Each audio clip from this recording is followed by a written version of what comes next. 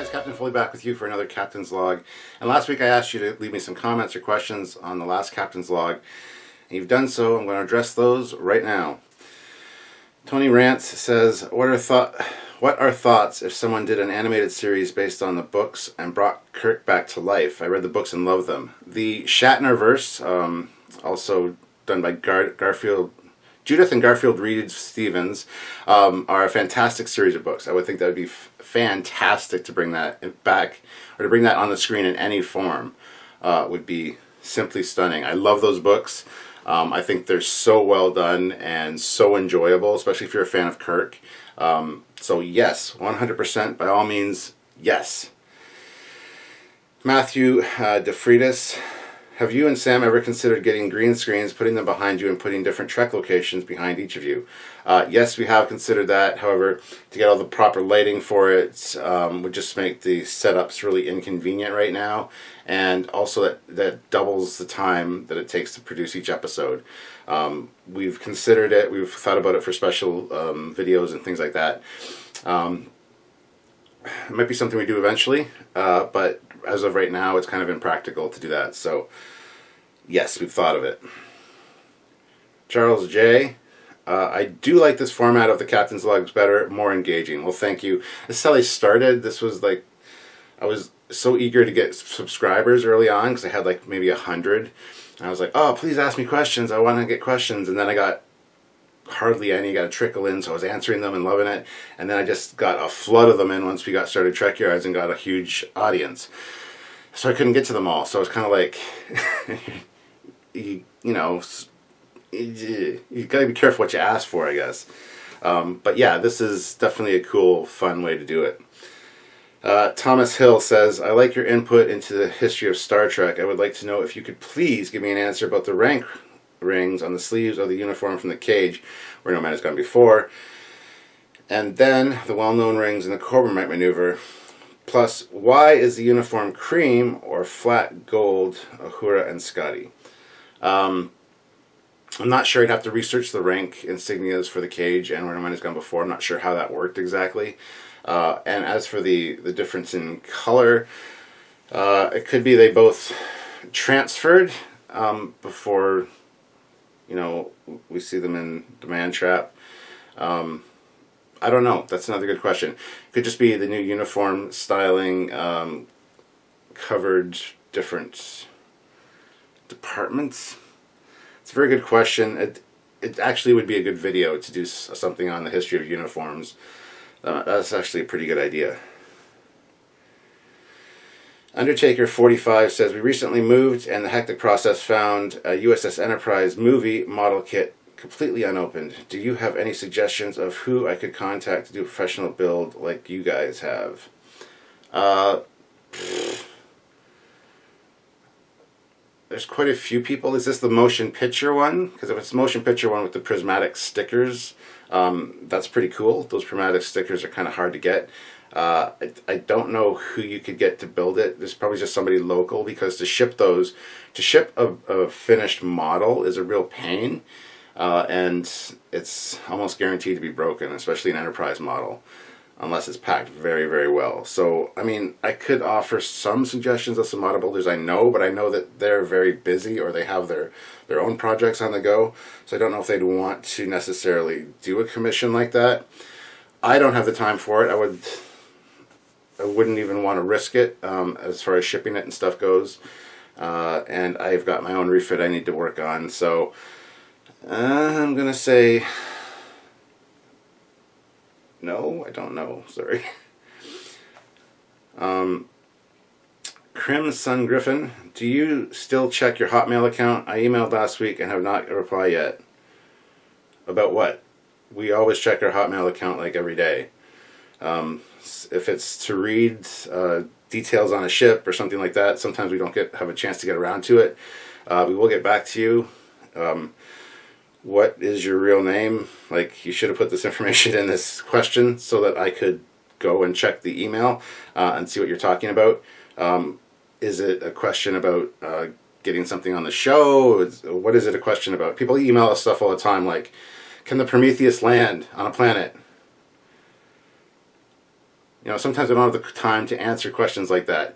Uh, one gentleman emails us pretty much two, three times a week with, can the Prometheus land on a planet? Can, you know, does the Prometheus have a captain's yacht?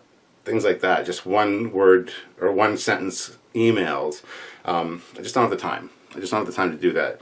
Um, I answered the first few of his, and then he kind of got, I guess, expecting it, and I just I can't look it up or do the research for each one. So I don't know what you're referring to. Email us back or put it in the next captain's log uh, what it's pertaining, and I'll definitely be able to tell you. But yes, we check our Hotmail all the time. Jamet Leopard says, I'm not sure I understand why it's difficult to talk a little more about whatever you want. You're sitting here talking to a camera right now. Would it kill you to review anything that's on your mind? You briefly showed the amazing Enterprise model that was on a, the calendar. I mean, I understand if you can't do it and want to go in depth because that's for later, or if you could just flat, out say no, you're not doing it too. I don't know. Then again, talk to the camera for like five, three to five extra minutes and get it out of your system. I don't know what you're referring to. Uh, I tend to talk as much as I need to about any particular thing. Um, I'm not. I don't feel rushed during these. Um, I don't want them to be too long generally, but I don't know what specifically you're referring to. It sounds like you're referring to something specific I said in my last captain's log, which I can't recall. Um, so I don't quite know what you mean. Sorry. Rebel 1701. After seeing this, I am glad I have not been able to order the Mega Bloks Enterprise. Uh, the thing is huge. I'd have nowhere to put it in my display. Uh, LOL. Still thinking about ordering it for the future though. As for the captain's logs, Captain Foley, do what you are comfortable with. Old or new format, whatever works for you. I personally like this format, old, but you are the guy in front of the sensor, the camera. Keep up the great work. Um, that goes for all of Team Trek Yards, live long and prosper. Yeah, I mean, some captain's logs will be totally dedicated to something different, um, but the majority of them I'm going to at least include a few questions or comments from you guys in them uh, to start off with, and then maybe finish up with something else. Um, but some of them are going to be no questions or comments. Uh, that's just the way it's going to go. So uh, I hope that's okay. Slater not watching all of your logs, but I like stopping by every now and then. I really enjoy your gentle enthusiasm for all things Trek, as well as your passion and heart here, and your models are awesome. Well, thank you very much. Much appreciated. Chris White, uh, I'm glad this version of the Captain's Log came back. That also makes me happy. Uh, Wellington Smithopoulos Esquire, my question is, what are those bots doing to what I assume is the Enterprise on the screen over your shoulder? Cap Thanks, Captain. Um, what are those bots doing? I mean, there are droids up there, uh, but the screen over my shoulder was that screen, which was just running LCARS, so I don't know which bots you're referring to, to which Enterprise. I don't understand. Please clarify. Chris White. Are the com badges in the Teespring website? No, because Teespring only makes their own product. So the, the com badges are on their way. We are doing up an order of them soon that will let you know how to get a hold of them. But no, Teespring doesn't make com badges as a general product. No. Tony Rants. Uh, do you think Eaglemoss should try collaboration with Mega Bloks to help them with new ideas for ship builds? Mm. Um, I don't think that would be anything that would ever actually happen. Those two working together. Mega Bloks hasn't put out anything Star Trek for quite a while. I don't know what's up with the licensing with that. So, no, I don't think that's a a good idea. I'd like Mega Bloks to maybe do a refit though. A refit Enterprise would be cool. Uh, KG313, no questions today, but wanted to say thank you and very cool of you to engage your fans this way. Well, you're welcome. Um, I just love talking to people, so. Trevor McGodrin. Uh, great log. Pair a tribble pair a tribble bath poof with a soap. LOL. There you go. There's a great Trek Yards product. It's just like a tribble on a rope with a soap. Rob Moss. Hell yes, soap on a rope. Go for it. Username, whatever. Uh, Bugman, he says. Chris White, first one and then there's another one because I don't know if you were the first one. Tom Exaros 48 question. I know that as a gay man, I'm in the minority here, but any plans for a man pinup T-shirt? Probably not. Um, we've had quite a few requests for that actually. Um, it might be something we can explore. I just, I don't know if it would sell, to be honest. Um, and there were no like gay man pinups on World War II planes because that's kind of the pinup thing we're going for, uh, for the like the World War II thing. So don't mean to to sound, you know, like anti-gay or anything because I'm definitely not, but I don't know how we would market that or even if it would be something that would sell. To be fair, I mean we could do something I don't know. That's a good question, though. I'll have to think about that and look into that. Um, so, anyway, that is it for the Trek Yards questions. Now I'm going to head on over to the Captain Foley personal channel um, this page here and check out the comments on the Captain's Log on this one. Now I've released quite a few um, videos since the last Captain's Log. I suggest you guys check them out. There's some really good stuff there. Um, where's my Captain? There it is. All right. Back to the old formula, it says. And this only has three comments. So, um, There's no names on these. Oh, yes, Jason Link. Sorry. Hey, Captain. Any thoughts about the allegations against Vic Mignogna and the lawsuit he is probably bringing against his accusers? The thoughts on Rooster Teeth firing him and Funimation basically back blackballing him without any criminal investigation or conviction against him. I think it's kind of shitty that they would do that, and I don't know what's up with the situation. I know he's kind of fired back now, um, so it'd be interesting to see how it plays out. I think it's just a shitty situation all around, and I I feel bad for the guy, but you know we got to see how it plays out. So, but yeah, to be fired without any kind of proof, just allegations, that's scary. That makes the world a scary place, guys. You got to be very careful with how you deal with people and situations so that you don't get stuck in that kind of thing. Really? This, there we go. I had a light shining on this stuff and it, it, it, it burned out, which was sad. Uh, Defiant M. Raven Productions says, Hey Cap, what is your absolute favorite piece of Trek merchandise that you own? Oh my god, that's such a weird question. I, I can't pick. There's so much cool stuff. Probably my 350 scale Enterprise that I built. Uh, also my South Bend Enterprise, uh, which is one of the original uh, toys that can be reconfigured into different configurations. Uh, but yeah, that's that's tough. Even my wand company phaser is very cool. I don't know. I just got. I can't pick a favorite. That's like picking a favorite child. Mine's Cassie, by the way. Just kidding. Um, question number two: What is your favorite drink while on duty? I don't drink while on duty. Nice, nice way to trip me up there. Um, but that being said, I do really enjoy Crown Royal. Um, also, Kraken Dark Spiced Rum with Coke. Um, Crown Royal does have some flavored ones as well. There's a green apple, which is really good. There's a peach, which they're coming out with, which I'm looking forward to trying. Uh, so things like that. Uh, I love sour puss as well. Uh, that's always good. So lots of things, but not never on duty. Come on now. Uh, number three, what is your least favorite fan film starship design ever? My least favorite fan film design. Uh, I'm not a huge fan of the Icarus from Renegades, to be fair. It doesn't really look like anything Starfleet, so I'm going to have to go with that. Number four, what? Why are you such a good friend to all of us? Because I love you all, and we all have something in common. We all love Trek, and it's all it's like we all know have known each other forever, and we all have something common to talk about every time we see each other because of it. Number five, my idea for a topic: epic deviant art starship designs. That'd be cool. Um, we kind of do that though with fan designs and also our mission briefings that talk about fan designs. This just went off again. I don't know what's up with this battery. The battery should be good. Ooh, see? I don't know. Sorry guys. Just trying to show off more of my room and some of my collection and stuff by standing in different spots.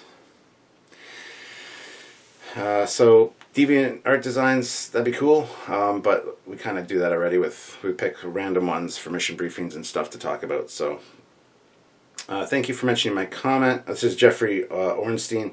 Thank you for mentioning my comment, Captain. I really have been enjoying watching your captain's logs every night. Whether new or not so new, it's all great. So thank you. Uh, I really appreciate that. Appreciate that you enjoy them. Appreciate that you appreciate them. Anyway, you can't see what's going on back there now, but that's okay. But yeah, as I was saying, I've uploaded quite a few reviews and stuff, older reviews from the Trek Yards page to the Captain Foley personal channel.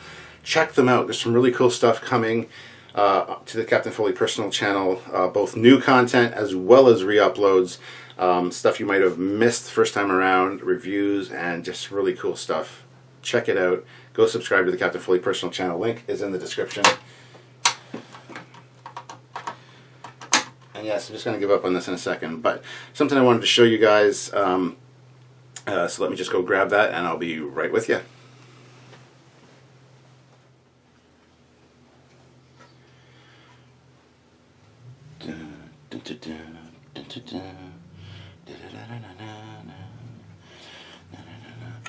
Here's what I want to show you guys. This was sent to me by a gentleman by the name of Ron Morris. Uh, this is one of his 3D printed creations. It's kind of a fixed Kelvinverse Enterprise. I actually really like this one. The nacelles are properly spaced. They're properly sized. Uh, everything looks proportionally really cool on this design. Uh, I will include some pictures of it uh, for you guys. Also comes with its own stand, which is just basically the struts and then the nacelles, but and it sits there like that. So, uh, yeah, he was nice enough to send Samuel and myself one of these each.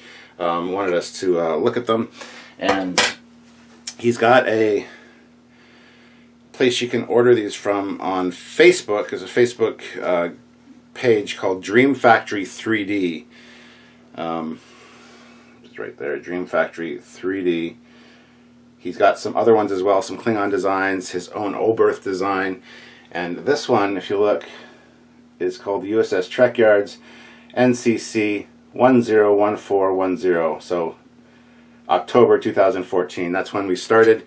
Uh, so our anniversary is the registry number.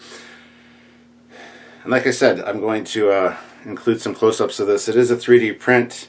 Uh, so there is some lines in it. I'm thinking of getting a smoother or a leveler primer to put on this and then paint it. Uh, but you can see like there's escape hatches on the top, escape pods. Um, nice decent sized windows. This thing isn't too big. Uh, looks really good. Uh, the bottom has a cool planetary sensor dome and uh, the neck looks really good. It's not too long, not too stubby. Looks kind of perfect. Uh, nice mix of uh, refit style with like an Excelsior style. Um, it's got a deflector dish, which you can also choose an inset deflector as well. Um, I didn't get sent that, I just got sent this one, which is fine because this is what I was going to use anyway. Um, the cutout here is nice. Uh, I would have probably preferred it went back a little bit further and then cut up but that's fine. That looks really good. Um, open shuttle bay concept at the back there, which looks really neat. Cool struts. The struts look really good. This thing looks amazing from the side, just like the the JJ Prize looks amazing from the side. But as soon as you do this, it's like, oh, the engines are too close together. Stop it. These ones are perfect. Uh, the nacelles look great. They are. They got the shroud on them like the JJ ones, but they're also very um, uh, very slim. Uh, they're not as thick and bulky as the JJ ones. So, yeah. Um, so hopefully you enjoyed looking at this. Uh, if you want to check out the 3D uh, Factory on Facebook, I think that's what it's called, 3D or Dream Factory 3D. Uh, check out Dream, Dream Factory 3D. Tell Ron Morris that Captain Foley sent you. Um, I really appreciated this. He sent this to us. Uh, both me and Samuel have one now, and it's great that it's got the Trek Yards uh, registry and name on there. That's really fun. Uh, it did come in a few pieces because uh, it is 3D printed. Like this piece comes out and then it just slides in. He had it fully assembled before he shipped it, but by the time it got to me, it was in like eight pieces that I had to assemble. Um, but anyway, that's 3D printing for you. I think it's fantastic. It takes everything that's right about the Kelvin Enterprise and retains it. Everything that's wrong about the Kelvin Enterprise, it fixes it. So it's a stunning piece. I just wanted to show it off. Uh, I was going to do a separate uh, review on it at some point. I still haven't got the go-ahead from Ron to do that, but I really wanted to share it with you. Um, so by all means, go talk to Ron Morris. Tell him that Captain Foley sent you, uh, that you really loved what he has, has done here, and uh, pick yourself up one maybe. Plus, check out his other stuff, the Klingon stuff, the the Oberth. They're really cool designs, uh, so definitely worth checking out. Um, but that's it for this captain's log. I think uh, I did make some notes. Maybe there's just something I wanted to talk about. Other than that. Sorry, I'm kind of disorganized this morning, and I apologize for that. Yeah, basically just that uh, copyright issues on on uh, YouTube suck. I mean, you use like a 14 second clip of something that you really like, like the intro to the Oscars when we did our Trek Yards Oscars. That gets copyright flagged. That Captain's or the Trek Yards musical that I did got flagged initially for the rent music that's in it. Um, it says the email says, "Don't worry, you've done nothing wrong. Um, you, there will still be continue to be ads running this, but the person, the music company that owns the rent soundtrack, will be getting the, the, the profits from it." It's like that's fine, that's cool. Uh, and I put that that video up on both the Captain Foley personal channel and the Trek Yards channel. Got hit on both. Got hit on the Captain Foley personal one first then the Trek Yards one. Then a few days later, it gets taken down from the Trek Yards channel and gets a copyright strike. Um, now, a copyright strike is bad. Um, and you know why it was taken down? Because CBS took it down because I used a clip of the Discovery crew singing their version of the song and then did a correction and I did it out of love. I thought it was great. I thought it was a fantastic piece. I commented on how good it was, but copyright strike taken down, uh, DMCA, because CBS, you can't even fight CBS on those. Uh, they will not um, budge, in their opinion. Everybody else, you can, you can, you know, you can argue it. You can, you can take it to um, the next level and say, you know, I'm saying that this isn't right. I can't even think the words right now. But anyway, um, and uh, the, the, sometimes they'll do something. They'll be okay, that's fine. Actually, I, actually is fair use or whatever. Uh, so they'll take the strike back. But CBS is really bad for it. So got a really bad taste in my mouth from CBS about that, and the fact that the Captain Foley personal channel version of the exact same video has not been touched. It is still there, it is still viewable. So if you haven't seen Trek Yards, the musical where I sing, go check it out on the Captain Foley personal channel because who knows how long it's going to be there. Um, so anyway, that's that's that's where we stand on that. Um, yeah, I thought there was something else I wanted to talk to you guys about, but that's basically it, actually. Um, so thank you very much for joining me for this Captain's Log. As always, um, make sure you put your comments and questions down below. I'll try to get to them next time. If not all of them, I'll pick and choose some because uh, as I do this again with the old style and say leave your questions and comments, it's going to start filling up. And soon it's going to be like 126 comments, and I just can't do all those in a captain's log. So, yeah. Um, and I'm going to get to that point again, I think, where I'm going to have to stop, stop taking all of them. Um, but I will try to hit as many as I possibly can. So put those comments down below. As always, like the video, subscribe to the channel, click the notification icon. Help us out on Patreon if you can. Visit the Teespring store. There's lots of cool Trek merchandise, and a lot of people have been getting their, their mugs and their shirts and all this cool stuff. And yes, I'll think about a, a, a male kind of pinup style. It's actually a good idea. Um, we'll just have to see how, how to go about that. But keep an eye out because that's something that uh, we've had a few requests for actually, uh, even from some of my good friends. So um, I've been thinking about it. I've been thinking about it. So, um, but anyway, as always, guys, subscribe to the channel and don't forget to check out the other channel as well. And also check out other videos from me and from us. Uh, we love talking to you guys and hanging out. So enjoy what we do for you. Until next time, guys, I'm Captain Foley. Bye.